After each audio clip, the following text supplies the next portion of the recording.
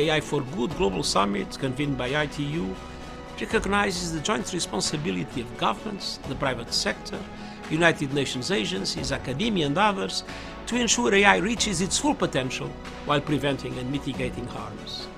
And it's a moment that calls for action.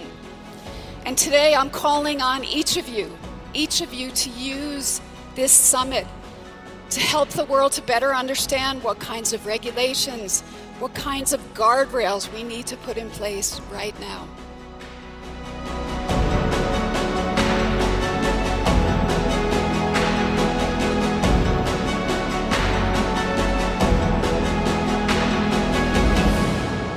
So, together, let's make it innovative, let's make it safe, and let's make it responsible for all.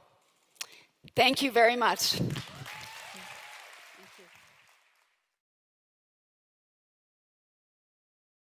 Welcome to AI for Good, the leading action oriented, global, and inclusive United Nations platform on AI.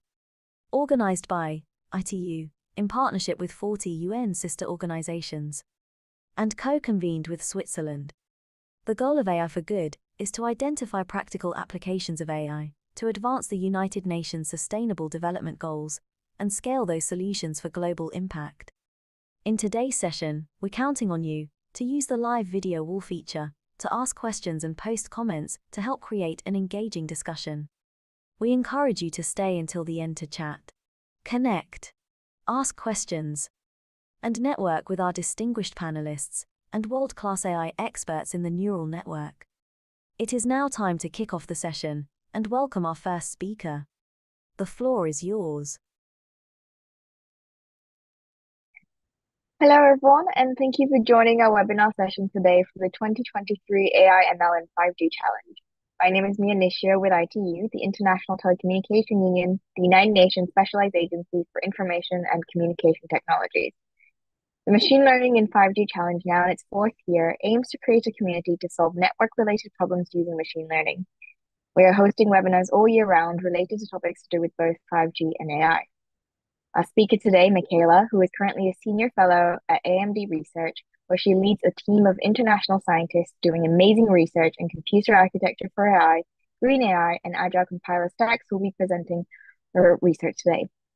The title of today's session is Pervasive and Sustainable AI with Adaptive Computing, where Michaela will discuss how adaptive devices paired with agile compiler stacks can provide solutions by delivering post production hardware specialization and co designed algorithms the object, objective of which is to create a highly optimized AI system that can achieve scalability and also a reduction in carbon footprint. We are counting on you, the participants, to help create an engaging discussion. If you have any questions, please type them in the video wall and we will take them during the Q&A session right after the talk. Without further ado, I would like to hand over the floor to Michaela. Thank you very much, Miya, for the kind introduction. Let me start sharing my screen.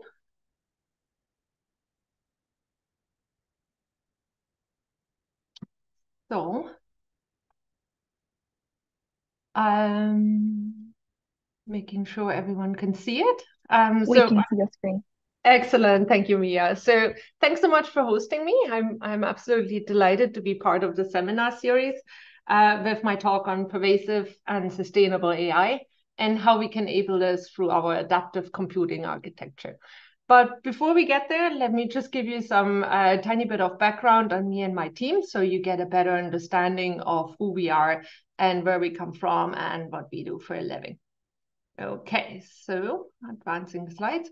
So we're part of the global AMD research organizations where I'm heading a lab called the Integrated Communications and AI Lab, in short, RADICAL. Uh, the team was established uh, over 18 years ago. Um, at the time, it was Xilinx Research. Today, we're around 20 researchers, so top class PhDs, accompanied by our university program and spread over five different locations from all the way from the US to Europe to, to Singapore.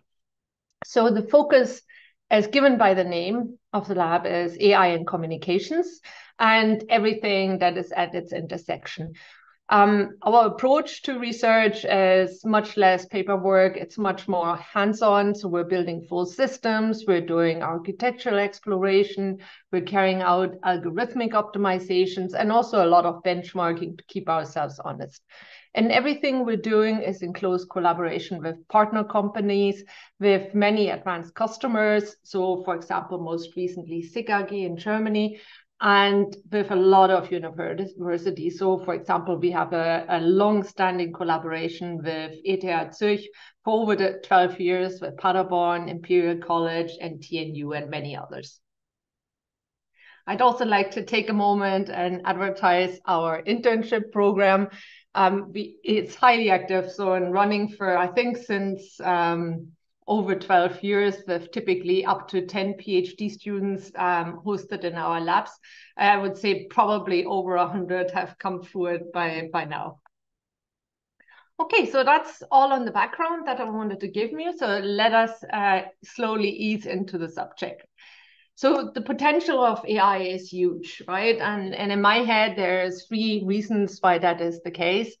Um, First of all, AI requires little domain expertise to solve problems, which means you can solve problems that you don't really understand yourself. Secondly, neural networks have the mathematical pro property of being a universal approximation function, which means the, the scope of the problems that we can solve is really vast. And finally, if you make them big enough and you train them hard enough, um, they can outperform humans or existing algorithms on very specific tasks. And because of this, they are starting to replace existing implementations and more importantly, help us solve previously unsolved problems.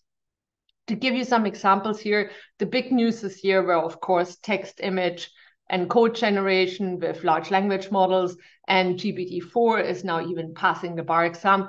By the way, not just on average, it's passing on the 90th percentile, which is a, a big deal. And for me, the most significant example is probably the, the protein folding, which was, I mean, an unsolved problem for 50 years in computational biology, which was then solved a couple years ago by Google's DeepMind with, with the neural network called AlphaFold. And today, right, we can successfully predict, I think, close to all 3D structures of nearly every catalog protein known to science, which is a huge deal for drug discovery and perhaps perhaps even a cancer cure eventually, who knows? So in any case, um, coming back to what we concerned here, we see increasing adoption in many, many application domains from cloud to edge and everything in between. So in essence, AI will become pervasive. And most of the focus and the hype is clearly with the hyperscalers work around large language models, uh, ChatGPT, web search, recommenders. And all of this is, of course, super cool. But this talk is much broader and includes everything outside the data centers too. So we're interested on how can we address this long tail of AI beyond the hyperscalers and their large language models. So we'll, we'll take a look how to enable applications in communications, in medical, in airspace, in IoT, in precision agriculture, and, and things like that. So what are the requirements here and challenges that we face when trying to address this broad spectrum of applications? And as you can imagine, we encounter truly different and truly diverse requirements. So let's start off with power requirements. They would be very different when deploying AI, let's say in a hearing aid, compared to a server card deployment in a data center.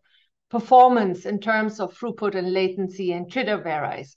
We have different requirements concerning about cost. I mean, everyone cares about cost, but there's different uh, price brackets you can deal with.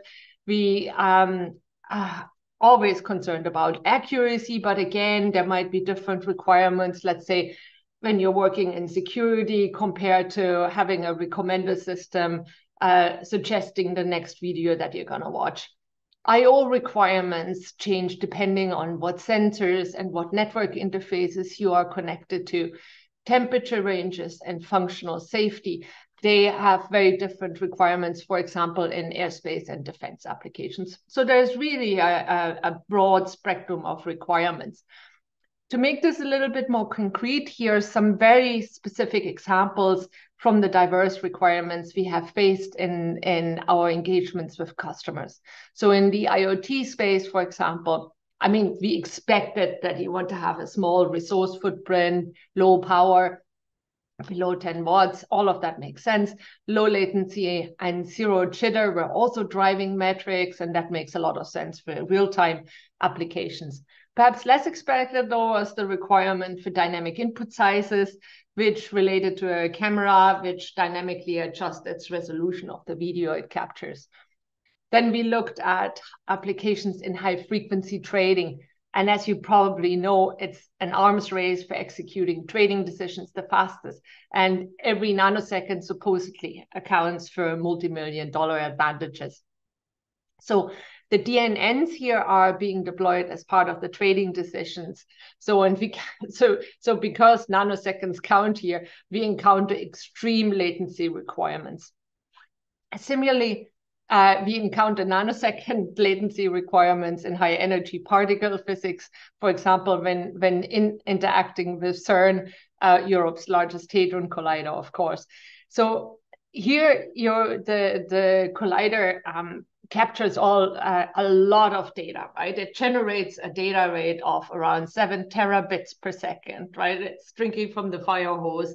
And the neural network decides what which parts of the data actually show interesting images. So um, every nanosecond uh, that the neural network takes to decide would accumulate a huge amount of traffic that you simply can't really store anymore. So again, nanosecond latency plus the extreme throughput are critical here. Actually, um, a little bit slower than that as a requirement in communications, yet like really a really tough data rates. I mean, if you if you're deploying an hundred gig Ethernet link, uh, you know you're dealing or 400 gigabit Ethernet link, right? You're you're dealing with hundreds of gigabit per second, which translates for for 64 byte packet sizes into hundreds of millions of inferences that the neural network has to execute. In addition, you have this requirement that you want to have direct streaming integration with your networking interfaces. So you don't want to have a separate runtime, a control processor that would call the execution from the neural network. Instead, what you really want is that the neural network gets triggered and fed directly by the network interface. Then you have a requirement for low latency in the context of machine learning enabled firewalls, right? Um, so here the rule-based implementations are increasingly augmented with neural network-based malware classification to protect more proactively against new forms of attacks. And here you also need to have really low latency. Um, and typically uh, the customers would talk about less than a millisecond. So, and across the bank, we see in the communication space, custom requirements, custom operators, custom data types, custom tensor shapes, and cu custom kernel dimensions. And in the extreme case, where um, we've actually seen that the adding of actual DSPs into neural networks is uh, required. So this was actually published from Nokia Bell Labs in their DeepRX paper, where they're combining multiple neural networks with DSP functionality for channel estimation. So the summary here is that DNNs will increasingly penetrate both wireless and wired telecommunications. And it comes with a whole new range of requirements, including, of course, the high throughput and the low latency. So upshot here requirements are really diverse, but the the cherry on the icing is that the workloads are also really dynamic because AI is still a highly active research area. Algorithms are still changing as the science isn't mature yet.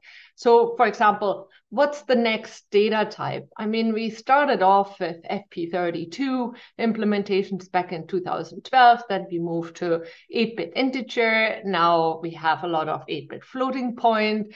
What's next? Logarithmic number systems. There was a recent publication on on MX data types, which use block scaling factors. What's um, what, what, what's the ultimate data type that is best used? What's the next operator that changes the compute paradigm? Remember transformers, they've arrived in 2012 and they are now everywhere. And what's the next generative paradigm? I mean, we went from variational autoencoders to generative adversarial neural networks, then denoising diffusion. There could be something totally disruptive again emerging in the coming months. And then you have the fundamentally new ideas like Hinton's forward forward, doing away with stochastic gradient uh, descent based backprop altogether. And, and of course, the, the the most common thing we encounter is when working with customers is that the workloads change during the development cycle. First of all, because models are continuously being optimized for accuracy, for example, but then the application might evolve too. So if you look at the 6G spec, that will only be finalized in 2028, but the first radio front ends have to hit the market in 2029. And you can't just wait until the spec is finalized and then do an implementation. So you have to start now, right? And then evolve your implementation with the spec. Upshot here is everything is in flux all the time. So AI becomes pervasive with workloads being diverse and dynamic. In addition to this, I also want to talk about sustainability. And while my example here is data center specific, which of course, helps with emphasizing the problem. The point, of course, applies to AI in general. So to put it simply, the energy footprint of current AI deployment is unsustainable, right? So if you look at the estimated power consumption of ChatGPT cluster, it's 4.3 gigawatt hours. There is a source reference, but the numbers are changing all the time, but it is very high. And an AI cluster at Meta is estimated to consume between 53, that's where it's at today, and 561 terawatt hours, which is the expected value for the coming years. So that's a similar ballpark to whole industrial nations, right? So that that that is really, really concerning. And the truth is that the current DNN algorithms represent a sledgehammer approach. It's it's crude and it's highly inefficient. So we're doing hundreds of kilowatts doing matrix multiply with loads of zeros in the middle. And then you compare this to the human brain. We're looking at 10 to the power of five factor of potential improvement. So the, the human brain is operating on 20 watts. And I'm definitely not doing matrix multiply up there, right? So there's a lot of, of scope of how we can improve this still. And you can see early evidence of the paradigm shift to come. I mean, here are in the top chart, you can see Google Trends um, for, for sustainable AI. You can see the curve picking up. So I really expect this to happen. Looking back, one could say up to 2012, is, it was mostly about getting DNN to work, to producing actually good accuracy. And then the next 10 years after that, it was about scaling up and scaling out. And the next 10 years will be energy efficiency. So the industry number one approach to energy efficiency and performance scalability, by the way, as well, is to specialize the hardware architectures as Moore's law is at the end. We can't just go to a smaller technology node anymore. And everyone is doing this, right? So you have the hyperscalers with Google's TPU, Alibaba, Huawei Ascend, AWS with the Inferentia, for example. And then you have a whole range of startups like Groq and Graphcore and Cerebras working on this too. And even in the automotive space with Tesla, who are making their own specialized hardware uh, themselves. So everyone is doing this. But the challenge with the specialization is that it takes time. So typically one would look at two to three years for a custom device. If you look at your standard waterfall process here, right, you start with application analysis, then you progress to architectural specification, RTL design, followed by physical design, and, and so forth, and software compiler design, which is, by the way, often underestimated. It's probably more likely to be 50% of the total de uh, development time. And this is then followed by test and maintenance. So that's a challenge when your requirements are highly in flux. So let me illustrate this. So what happens is, say we get requirements for a ResNet 50 and an INT 8, and some of you might remember the days um, so we, we will start up with um, the application analysis, architectural specification and progress then down the waterfall. And we're halfway through RTL design. And in uh, come on, people found that vision transformers work way better and FP8. So the problem is that that development cycle is just way larger than the available time. Uh, so the development time, sorry, is, is way larger than the available time. So, so you don't have enough time to spin a device and a solution. So what we really need to get is a mu uh, much more agility in this process. To sum it up in a nutshell, so on one side, we need to cater for dynamic and diverse requirements. And for this, we need agility and fast turnaround times. And on the other hand, we need uh, for energy efficiency, we require a high degree of specialization, which typically involves long development cycles. And both of these aspects, of course, are in conflict with each other. So upshot is agility and customization is king. So the approach that we pursue is enabling rapid specialization with adaptive compute fabrics and agile AI stacks. And this involves three components. So the first is the lowest layer, which is the adaptive compute fabric in itself. The second layer is having customizable hardware execution architectures post silicon. And the third component is an agile AI stack. And so we have built this with our project Brevitas and Finn. Let me show you now in more detail how it works. So we'll work through these three layers now step by step. So let's start off with the adaptive compute fabrics, which is basically code name for FPGAs and AI engines. Let me introduce these briefly. So FPGAs are the chameleon amongst the semiconductors. They are flexible, adaptive, mostly homogeneous hardware architectures that enable you to post-production customize at the architectural level. So it's it's like programmable hardware. You can customize the I/O, you can customize the functionality, uh, for example, you can configure it to do a compression or an encryption or a neural network accelerator, whatever you like. And you can customize the compute architecture and the memory subsystem to meet the specific use case performance or energy targets. And uh, I'll, I'll show you in the layer two on how to customize it. And that gives you then improved energy efficiency. So they'll consume more energy than an ASIC for a specific circuit because the programmability comes at a cost. But overall, it can become more energy efficient as I can specialize the circuit more than I can afford to with a custom device.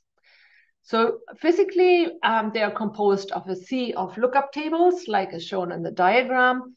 The latest device, for example, would have millions of them. These lookup tables are interconnected with a programmable interconnect. There's programmable I.O. And finally, the fabric is interspersed with DSP elements, which can carry out uh, n-bit multiply accumulates, as well as a lot of embedded SRAM blocks, giving you hundreds of megabit of distributed on-chip capacity in the largest devices with extremely high access bandwidth. So the talk's going to focus on FPGAs foremost, but I'd also like to mention the AI engines, which are a newer, more specialized form of an adaptive compute fabric. So they, they offer a little bit more higher performance for ML optimized data types through hardened vector processing in VLIW cores the um, compared to the FPGA, you could say that the AI engines operate on a word base, whereas the FPGA gives you the bit level granularity in configuring it. The fabric is also similar to the FPGA, highly flexible for interconnecting all the cores. And um, structurally, it's like a matrix of VLIW processors, flexible interconnect, tightly coupled embedded memory. We're talking tens of megabytes. And finally, compared to the FPGA, this is much more software programmable, whereas the hardware, it's, uh, it's a hardware design that you're really doing. So as mentioned, uh, this talk is mostly about the FPGA-based approach. The beauty of the FPGAs are that they're already incredibly diverse because they're the chameleon, right? And they're already widely deployed from dishwashers all the way to Mars rovers. So we literally have 100 product families spanning silicon nodes from 350 to 7 nanometers.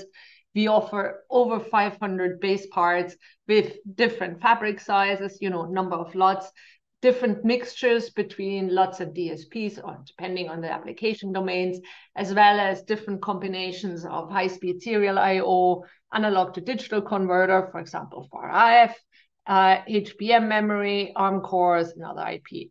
And there's different temperature grades, speed grades, and, and rad-hard versions for space deployment and things like that. So hey, just to put it simply, there's a huge range of parts that really can cater for the diverse requirements in pervasive AI. That's that's the message here. So, so much about the lower la uh, lowest layer with the adaptive compute fabrics. So on to the next component now, which is the customizable hardware execution architecture, which is, remember, the most important way to scale energy efficiency and performance. So how can we customize the hardware architecture? And remember, uh, the beauty here is that with the FPGA, we can afford to customize more than you can with another um, semiconductor. So we have three tricks that we leverage. The first one is a customized data flow architecture. So we actually specialize the hardware for the specifics of a neural network. So it's not just a neural network accelerator in general. The second trick is quantization, which is, of course, super popular in the machine learning space, where we optimize the data types to the minimum precision required. And finally, sparsity, where we minimize the connectivity in the neural network and implement it with sparse neural circuits. So let's go through these now one by one, starting with the data flow. So as just mentioned, with data flow, we're specializing to the specifics of an individual's uh, topology. So for example, we would build an accelerator for a ResNet 50.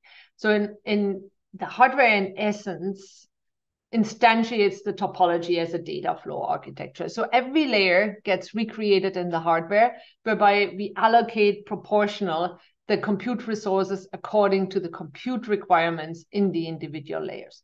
For example, if the first layer would uh, need 2x the amount compute to the second layer, then I would give it 2x the amount of real estate inside the FPGA. What comes out of this is then a balanced data flow implementation. It's like a pipeline where I can then just stream the inputs through my accelerator. So the benefit here is because I customize everything to the specifics of a given DNN, uh, its operations and its connectivity, it becomes way more efficient. So let's talk a little bit more in, in, in the details of this.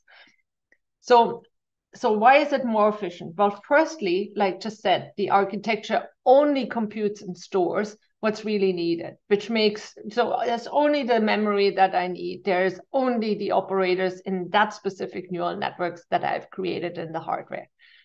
Secondly, we're minimizing the movement and storage of data because we don't have to buffer the activations in between the layers anymore.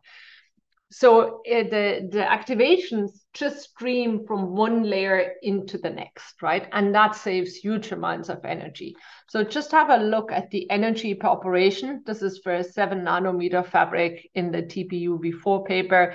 A DDR three or four access costs 1,300 picojoules, right? And by a standard arithmetic operation ranges from 0.007 to 1.48 picojoule. So by not going to memory and just streaming the outputs from one layer into the next, you save a lot of power.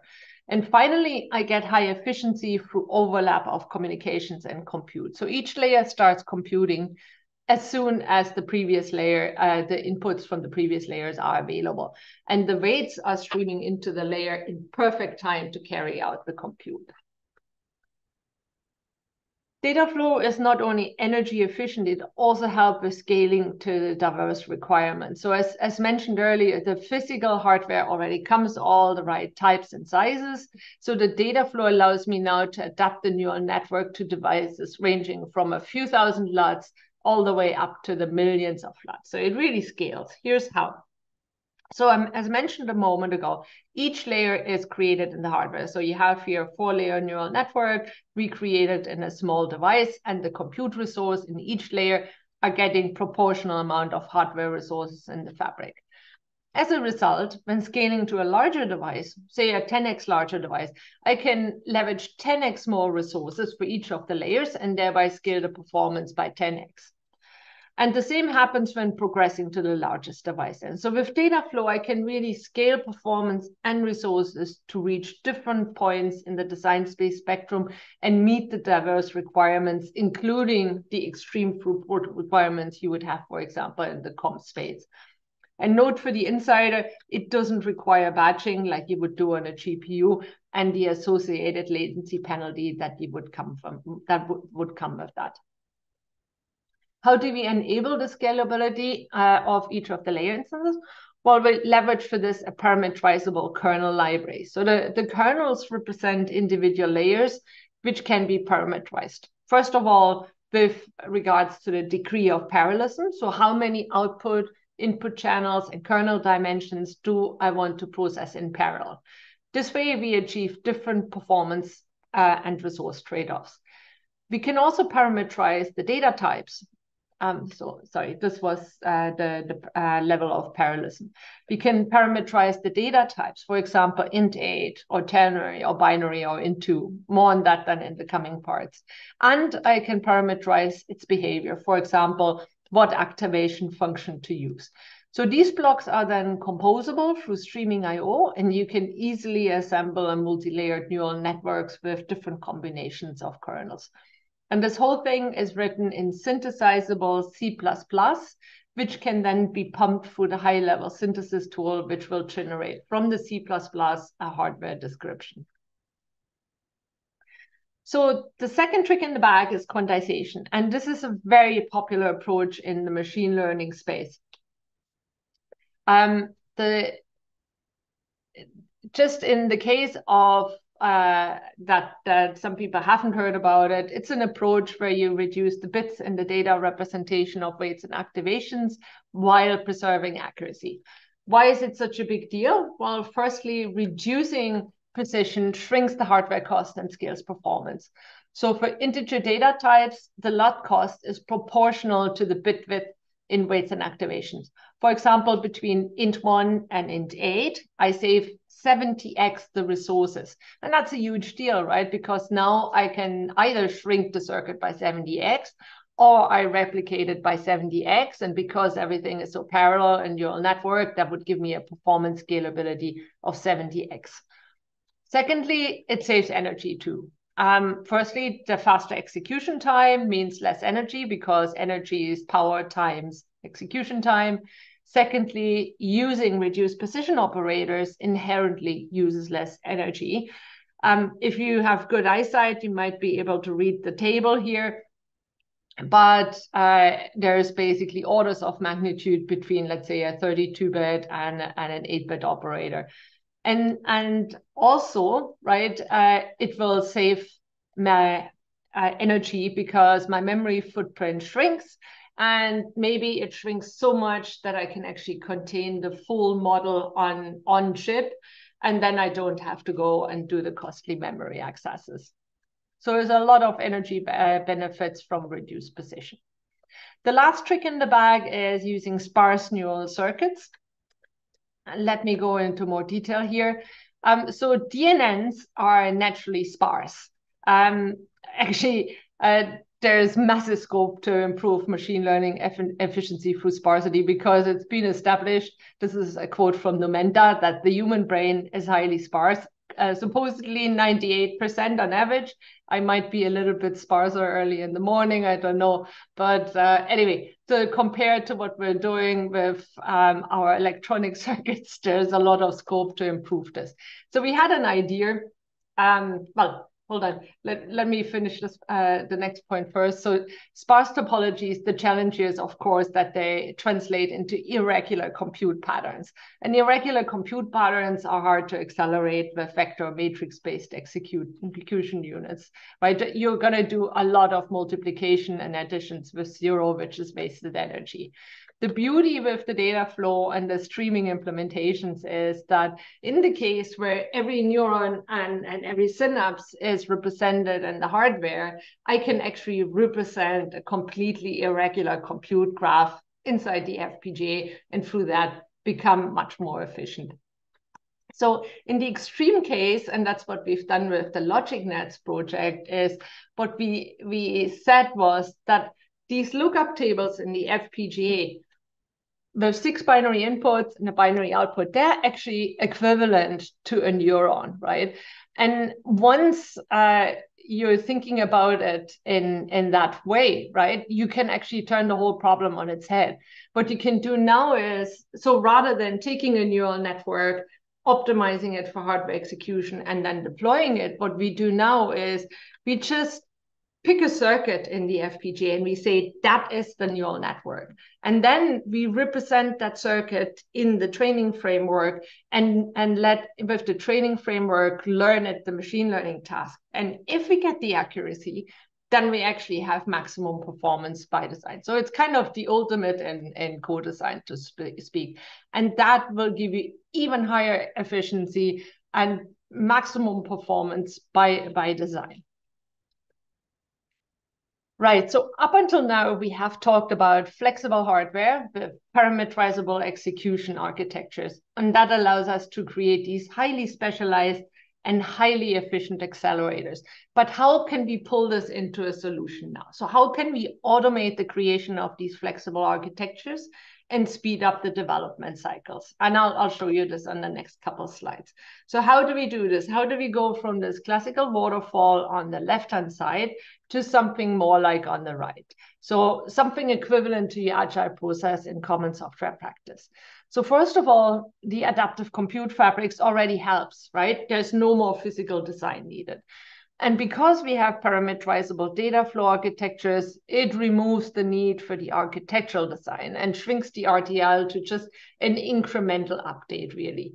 The trick is now to pair this with a training library for co-design, right? And the graph compiler, which automates the specialization and put this together, this enables you then with these rapid iterations that we need. So Finn and Brevitas are an example of such an agile stack and um, agile AI training library and compiler stack. So put together, they provide an end-to-end flow from DNN all the way to Bitstream, which enables automated generation of highly customized hardware architectures using all the tricks in the book, like quantization, data flow, fine granular sparsity. The key components are our training library Brevitas, the Finn compiler, which generates the hardware, uh, whereby the compiler leverages the HLS kernel library that we discussed earlier. And uh, really important to mention that everything here is developed in the open source domain. And that's really important because it enables fast customization. Uh, it, uh, it enables third party contribution and makes it much easier to collaborate. So let's take a closer look now at Brevitas and the Finn compiler. So Brevitas is the PyTorch library offering agile quantization support. What does that imply? It means, first of all, it allows for custom data types at the framework level. For example, arbitrary precision integers, floats with potentially block style quantization. It's also extendable for user defined data types and operators and can support any hardware specifics at training type Secondly, it's also composable building blocks, which can be arbitrarily combined. For example, you can do quantization aware training or data-free post-training quantization with data type of your choice. And this makes the quantization support much more agile and easy to adapt to new requirements. And finally, it offers integration with different compiler stacks. So of course, the Finn compiler stack, but you can also use it for quantizing uh, your neural network for ZenDNN to run on the CPU or MIGraphX for GPU execution. So the output from Brevitas is an ONNX description, which is then ingested by Finn. So the Finn compiler imports the representation from Brevitas. It implements a modular graph compiler with well-defined abstraction levels, which incrementally lowers the ONNX graph to a hardware description through transformations. As part of that, it performs optimizations such as layer fusion and explores the design space. So it, it can calculate the degree of parallelism for each of the kernels using resource cost and performance models. Subsequently, it generates um, C++ descriptions using the parameterizable uh, kernel library and creates from this the DNN hardware IP, which looks like something uh, here on the lower right-hand side. It's a four-layer topology, for example, um, I think relatively easy to um, recognize. So let me show you some example results now. So we'll start off with a benchmarking exercise uh, here, we're not taking accuracy into account. So some applications might be amenable to quantization, some might not. So what we're doing here is just looking at the energy potential. So we've carried out benchmarking activity across topologies, devices, and optimization schemes to understand what concept gives you gives the most benefit. We have two examples um, uh, on MLP on the left-hand side and the CNV on the right-hand side with quantized and pruned implementations created with Finn on FPGAs. So let me explain the box and whisker chart. So each box represents a whole range of measurements over different batch sizes. The groups are differentiated by the data type. So we have 4-bit integer and 2-bit integer data types. And the four bars in one of the group represents the same topology with different levels of pruning applied. So 50% means the topology has been reduced by 50% of its output channels on each of the layer. So the complete topology is on the left. It's always kind of the smallest bar. Then the 50% is next to the right, then the 25%, and then the 12.5%.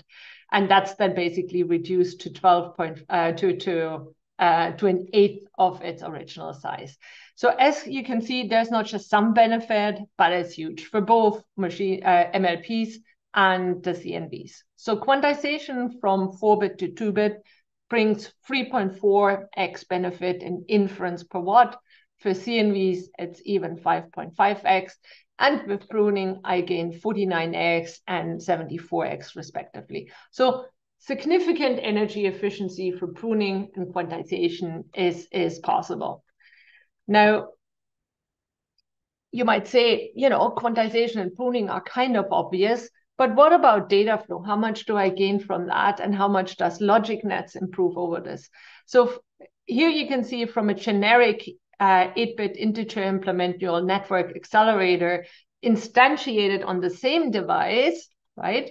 Um, scaling this with reduced precision and data flow we gain over a thousand x improvement in energy per inference. So this is a, a, a huge deal. Now, can we save any more going from there than to LogicNets, right? Um, you would say an, a two-bit integer representation is already, already highly optimized. But amazingly, when you go from there to LogicNets, you're going to get another 3.6x. So overall, there is over 4,000x energy improvements through post-silicon hardware specialization, right? So amazing this degree of redundancy and, and you could call it wastage that's that's still in the neural network and that we can find. And that's what we're really excited about. So there's really a lot of scope of further um, improvements. And this was just the starting point. So then let me give you a couple of more specific examples, this from the cybersecurity space, carrying out line rate classification with nanosecond latency. So basic block diagram, you have ingress and egress network interfaces, some packet processing feature extraction featuring and uh, um, uh, triggering the malware detection, which then passes the results to a packet filter, which will either pass or, or drop. So the first example is a Finn implementation of a malware classifier trained on the UNSW dataset. We've uh, quantized it to two-bit weights and activations with close to floating point accuracy, and we can run this with clock rate uh, it, um, inference rate. So this is 300 megahertz circuit, uh, classifying at 300 million inference per second with 18 nanosecond latency. And by the way, this fits in 8,000 lookup tables. Remember, the large device would have millions of them. So this is a tiny hardware circuit. Here's another implementation. This is still work in progress. This is a DDoS classifier trained on the CIC dataset. Again, quantized down to two-bit representations on floating point accuracy. It's currently running at 19.2 million inference per second with 52 nanosecond latency, which is already pretty good, but there's no reason why we can't crank this up to 300 million yet. So that's yet to come. It's currently on 18,000 lookup tables. Still work in progress now. Um, to show you a little bit more diverse examples, this is modulation classification, where we actually had uh, one of the previous challenges hosted by AI for Good. Um, so where you're basically just trying to figure out what uh, what modulation schemes have been used in your RF spectrum. The challenge here is you want to progress towards gigahertz sampling, right? Um, which translates into millions of inference per second in terms of throughput again. Here is the uh, the, the results that we have achieved.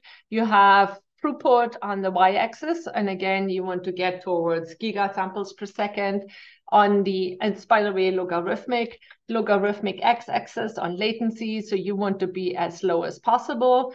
Here are the typical GPU behavior over different batch sizes. We have server class uh, GPUs with the V100 and some embedded GPUs. And you can see for small batch sizes, the GPU will be lowest in latency, but not achieve its full throughput potential. Only with a high number of batches, you get towards the high throughput. But and here for the server class GPU, this was be 256, but it comes at an incredible latency penalty. And this is the low latency uh, data flow implementation on an FPGA. So that gives you 1.7 giga samples per second with two microseconds uh, latency. So much better suited for these type of, of use cases. Another really um, uh, small example to demonstrate the diversity, it's kind of more esoteric, again from CERN. Um, so this is actually a, a, full classification DNN with 16 binary inputs and five outputs, which we implemented in 30 lookup tables. It's, uh, I mean, it's it's okayish accuracy with its 70%, but the point here really is that it's actually still a working classifier on a footprint which is smaller than a 32-bit adder. So this is how small you can actually make these neural networks. And it, it achieves three nanosecond latency and over 600 million inference per second, just to demonstrate how small you can actually make these. And this is the last example much more common or less esoteric than the previous one. This is MNIST digit classification. Um, Stone Age problem and rather toy example, but it's popular benchmark, right, in the embedded space and makes it really comparable. So here the results we created with Finn and LogicNets. And, and excuse the, the bit of boasting here, but back at the last NeurIPS in 2022, Petersen et al. claimed that the fastest MNIST classifier is actually implemented with Finn. Uh, so our research project, here the results, um, so at two different accuracies shown, but at 98.4% accuracy, uh, you get 1.6 million inference per second and uh, 12.4 million inference per second for a small accuracy loss using fully binarized representations. Now, how much further can we go with LogicNets? So we've created two comparable instances with similar accuracies with with those, we can actually scale the performance now up to 517 and 458 million inference sec uh, per second, respectively. That's an improvement like over the binarized neural networks of 300 or, or 37x over an already highly optimized implementation. Latency reduction went down to from 300 and 2400 nanoseconds to 38 and 9 nanoseconds. And by the way, only for a fraction of the resource footprint. So we're not only created the, the fastest MNIST classifier, unless there's something new coming out at NeurIPS, but it's, it's even faster now.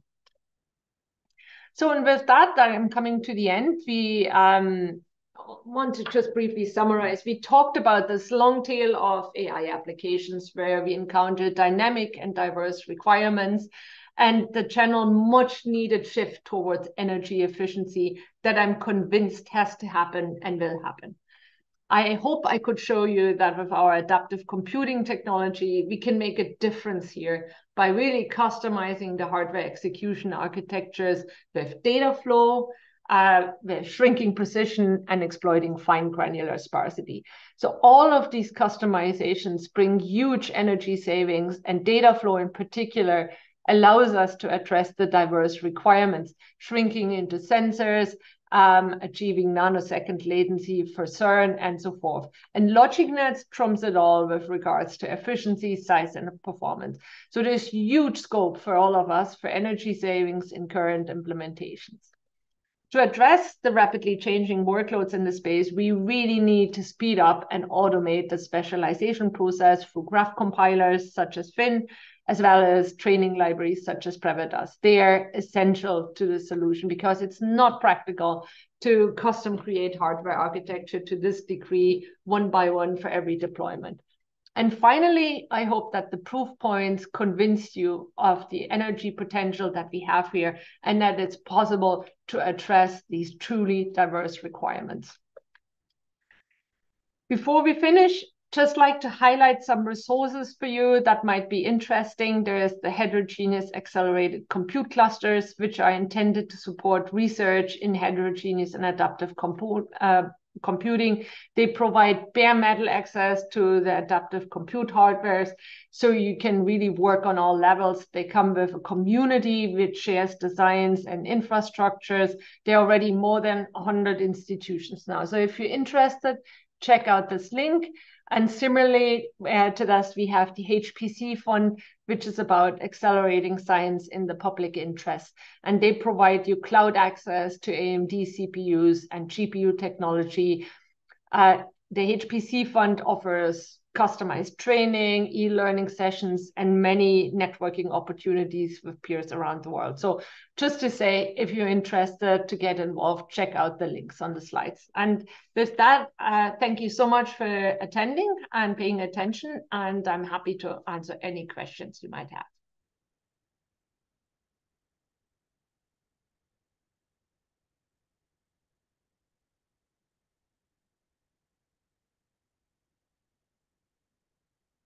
All right.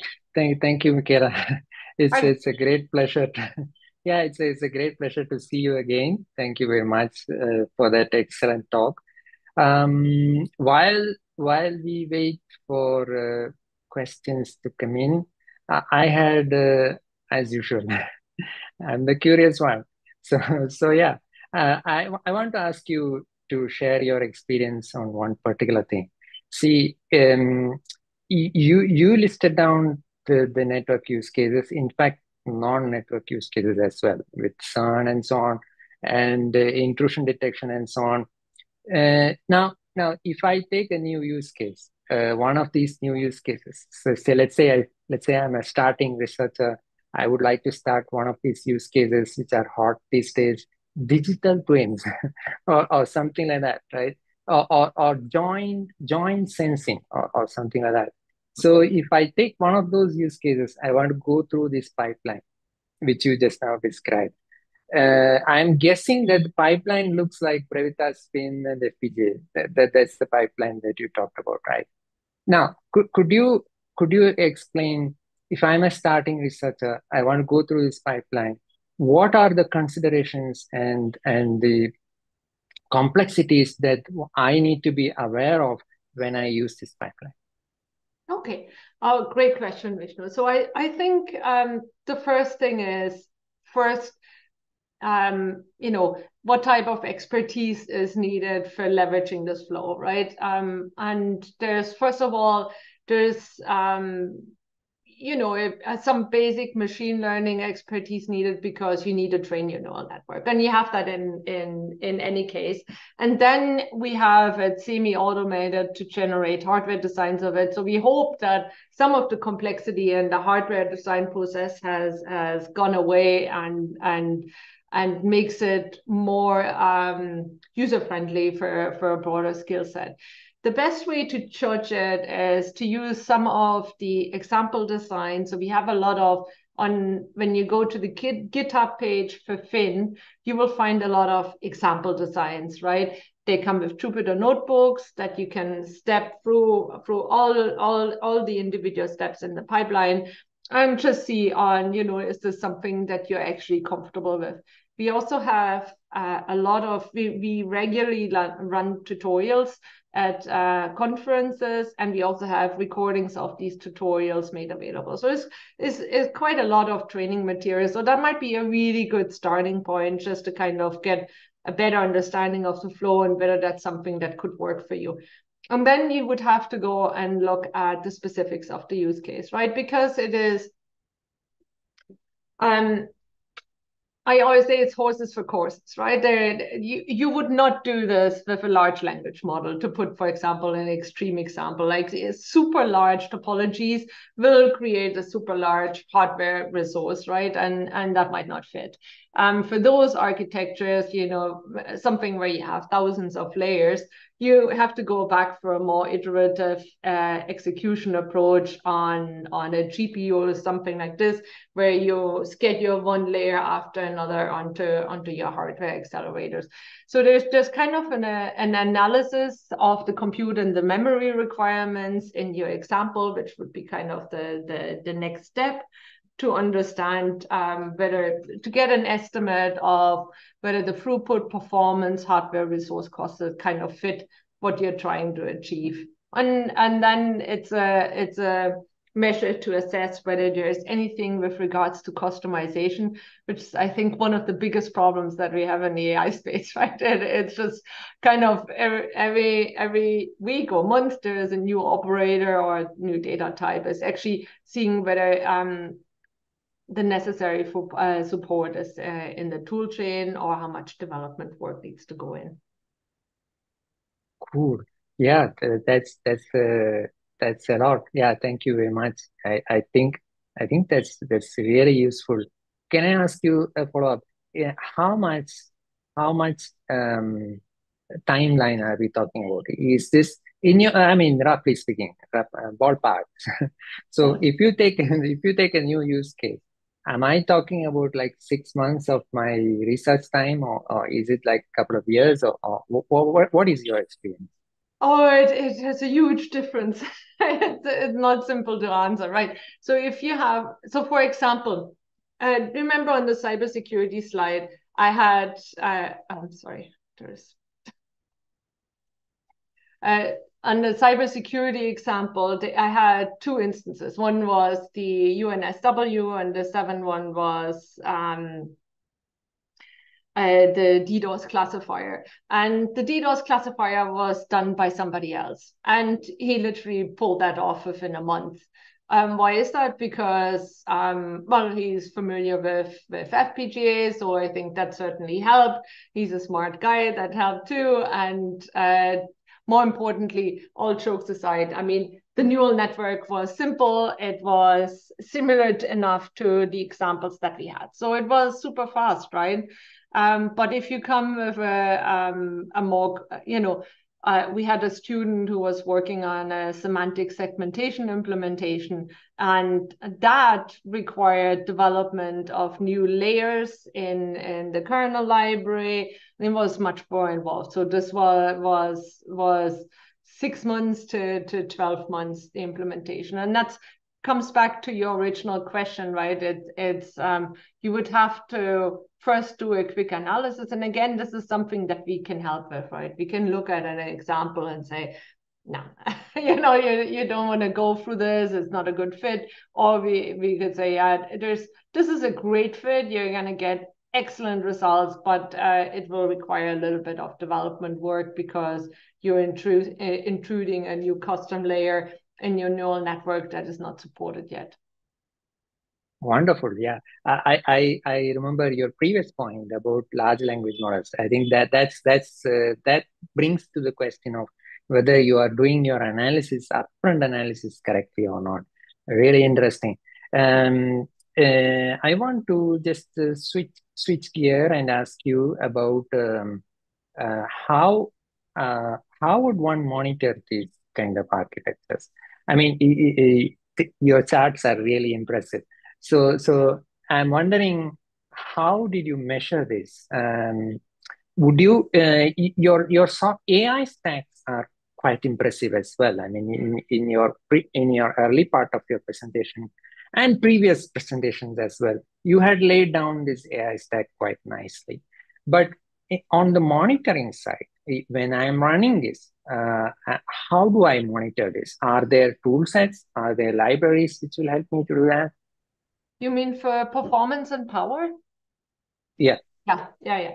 Um, so it depends a little bit on on the platform that you're using. So the the HACC clusters that I mentioned at the end, right, which give you experimental platforms to work with FPGAs.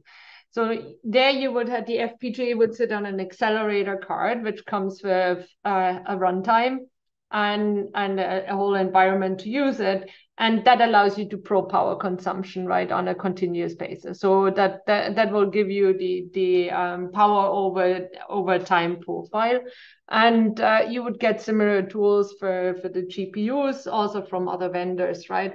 So that makes it really nice for for doing comparisons. It also uh, gives you an api for doing uh, performance monitoring and measurements um, I believe we have published example designs uh, that help with this, and I think that's that's really important.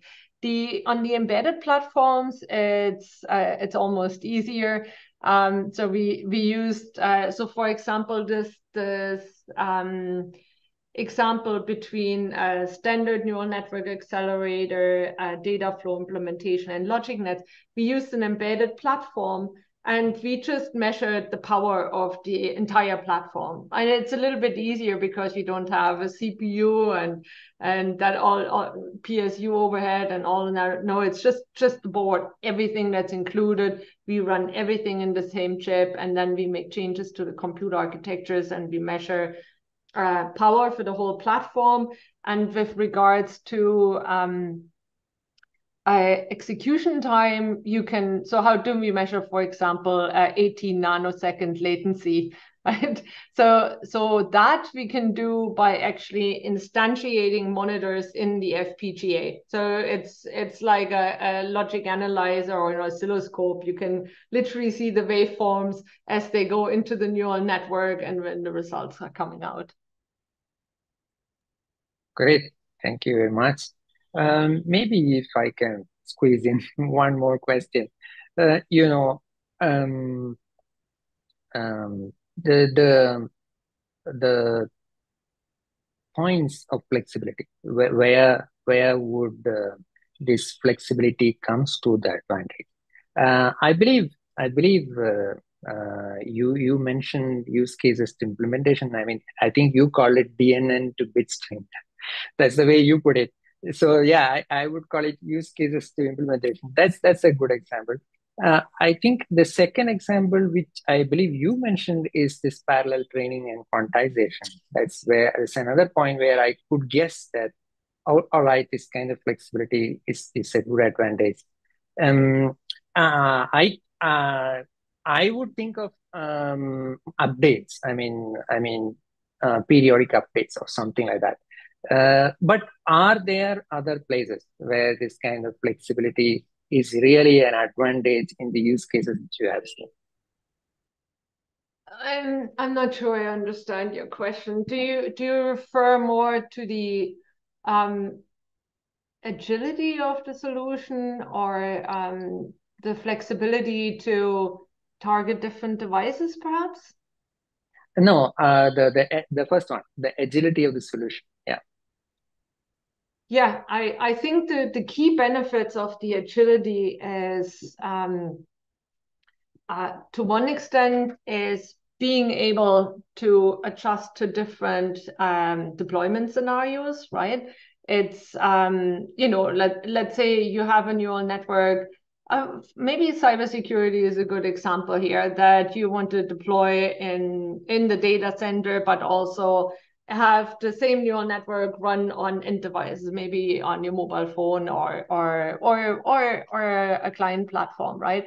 So actually having this agility to scale the solution up and down is is without massive redesign effort. I think that's that's really important. Then uh, as we discussed earlier, the, the ability to change fast for evolving standards like you would have in the 6G space, right? Where um, you know the the tasks get refined over the years to come. So being able to to adjust as fast, the ability to adjust to new data types.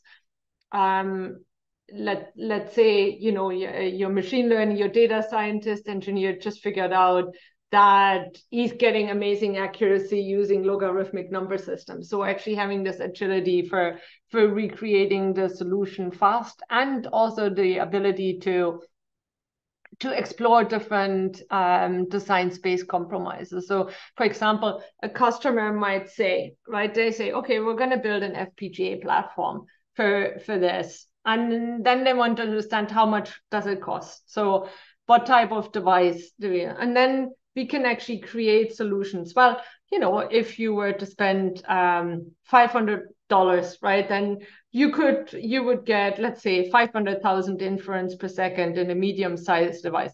Let's then you say, well, uh, it's a bit too slow. Can I go faster? And then you could say, well, you spend another two hundred dollars for the larger device, and then you get a double the speed. You know, so so actually being able to to um to regenerate the design for for different uh, cost points um, is also really interesting. I think it's it's one of the most important aspects about these stacks is that that it gives you the the agility to customize for for different targets. Great. Yeah. Thank you very much. Uh, there is a question from Guillaume. Uh, Guillaume is asking, FPGAs are great at accelerating integer quantized models, but uh, transformer models depend on floating point. Uh, so what is the direction which your team is taking towards supporting transformers in uh, Brevitas Finn based flow? Okay. Um. So so first of all, the question regarding floating point versus integer data types. So I wouldn't rule, first of all, I wouldn't rule out integer data types for, for transformers. Um, FPGAs are, are, in terms of floating uh, point performance, not uh, much lower compared to a GPU. But sometimes it's not necessary to, to have the hundreds of teraops of floating point performance. So for smaller transformer models, for example, vision transformers, uh, they or even actually in the wireless space, I've seen a, a publication from Ericsson. This, these are quite small transformers, and you can implement floating point, and they are supported, for example, through the DSP operators. Um, that might be perfectly um, interesting. We we have not a transformer example in our example library, but that's some, one of the things that's on the horizon. Great, thank you very much. Uh, thanks for thanks Michaela for patiently answering all the questions. And uh, I remember I remember the exciting challenge that we had. We we we hope that you are able to give us another exciting challenge in yeah, future. Yeah, yeah. We are working on it. We're, we're hoping to Great. have one next year. Yeah, yeah, yeah. Sure. Sure. then uh, we will we will see you there. Uh, let me let me hand it back to Miya. Thank you very much. Thank you, Vishnu. Uh, yes, I would also like to personally thank you for a very exciting and interesting talk today. Um, I'm just going to close off the session. Thank you, everyone who joined and participated today and for sparing your valuable time as well. Um, we do have more sessions planned in the near future, so please check the AI for Good program page for more details. Again, thanks everyone for joining today's session, and I wish everyone a wonderful day. Thank you. Thanks so much, Miya. Bye. Thank you for participating in today's AI for Good session. We hope you've learned something new, innovative, and engaging in today's event. We now encourage you to continue the conversation on the live video wall in the neural network. Here you can ask questions, like and comment, share links, complete the poll, connect with interesting profiles, or speak one on one using the chat and video function. We invite you to explore the lobby, try the smart matching quiz, visit the virtual exhibits, poster boards, the eShop, and build your personalized AI for Good program. Let's shape the future of AI for Good.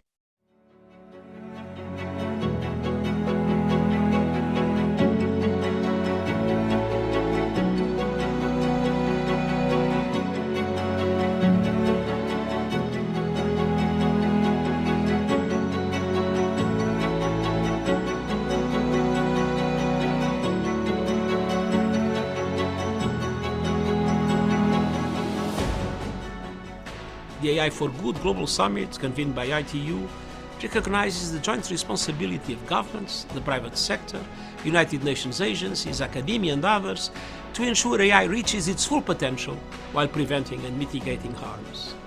And it's a moment that calls for action.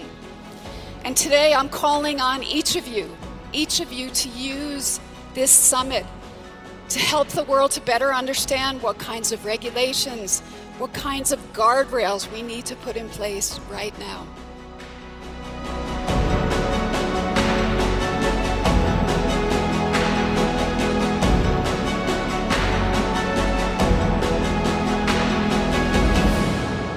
So, together, let's make it innovative, let's make it safe, and let's make it responsible for all. Thank you very much.